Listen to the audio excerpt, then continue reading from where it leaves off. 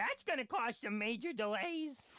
Why, hello! Welcome to Flying Fairy School. You're just in time for clean up time!